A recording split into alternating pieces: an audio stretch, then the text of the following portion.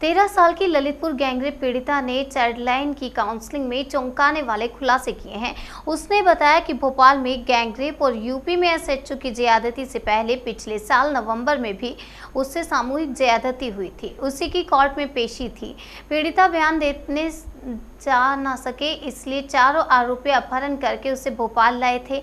यहाँ अलग अलग इलाकों में तीन दिन रखने और गैंगरेप करने के बाद उसे वापस ललितपुर छोड़ा।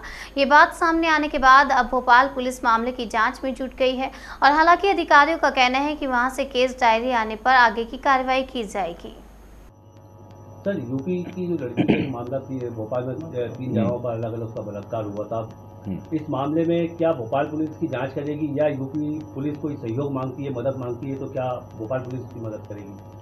अब जो मामला अभी तक सामने आया है समाचार पत्रों के माध्यम से और अन्य माध्यम से उसमें अगर यूपी पुलिस संपर्क करती है और साक्ष्य संकलन के लिए अगर उसको कोई सपोर्ट की आवश्यकता होती है भोपाल नगरी पुलिस से तो पूरा उसमें जो है सपोर्ट किया जाएगा।